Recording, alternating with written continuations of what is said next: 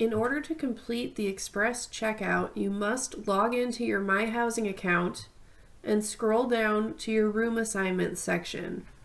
Underneath your room assignment, you will now see that you are authorized to express checkout, and when you are ready, please complete express checkout.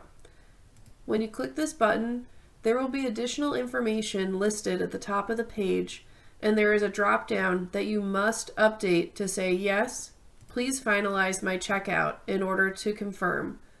Once you click confirm checkout, you are officially checked out of your room for the spring semester, so please make sure that all belongings have been removed from your space and that your keys have been returned. Please refer to the emails that you have received regarding checkout for additional information. When you click Confirm My Checkout, you will see a message that indicates that checkout has been completed, and when you return to the main menu, you no longer have the Express Checkout button.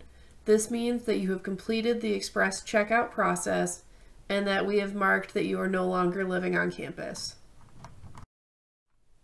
If you have any questions about how to use My Housing for Express Checkout or other processes, please reach out to us at livingoncampus at uconn.edu. Thank you.